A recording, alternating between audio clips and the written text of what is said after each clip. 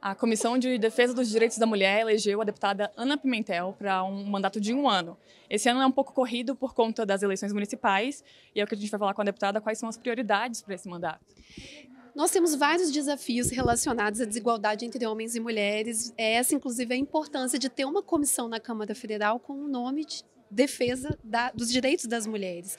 E eu quero abordar a centralidade que a gente vai colocar. Uma delas é exatamente a participação política das mulheres. Esse é um ano eleitoral.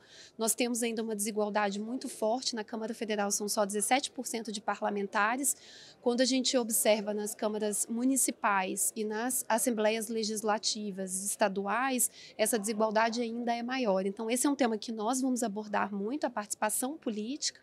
E nós sabemos que a base dessa desigualdade ela está relacionada com a divisão sexual do trabalho, que coloca as mulheres com quase exclusivamente responsáveis pelo trabalho de cuidado, ou seja, aquela tarefa que é material, que ela é concreta, porque garante a nossa sustentabilidade da vida, que é lavar, passar, cozinhar, produzir os alimentos que nós consumimos no dia a dia, é feita quase exclusivamente por mulheres, sem remuneração, num trabalho invisível e faz com que as mulheres estejam sobrecarregadas, adoecidas, cansadas e com dificuldade de acessar a vida pública. Então, nós vamos falar muito sobre isso também. Queremos fazer audiências públicas, abordar essa temática, articular com o GT de cuidados que tem sido realizado pela Secretaria de Mulheres. Então, essa integração com a Secretaria de Mulheres também vai ser muito importante nesse próximo ano, para a gente abordar temas que são de fato desafiadores e que ainda estão centrais na desigualdade entre homens e mulheres.